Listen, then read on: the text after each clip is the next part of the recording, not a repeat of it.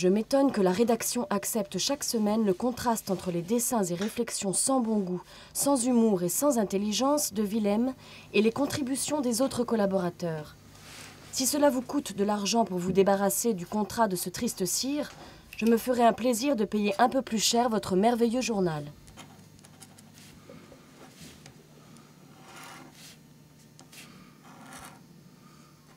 On peut toujours espérer d'avoir une influence sur sur le lecteur.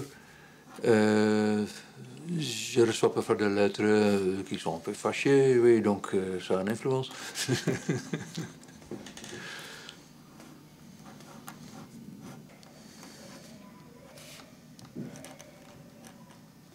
Je ne crois pas que ce que je dessine sur Bush a beaucoup d'influence en Amérique. hein,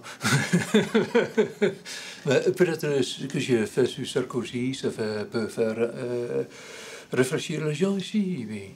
Donc euh, ça peut avoir un sens, mais je ne suis pas très optimiste là-dessus.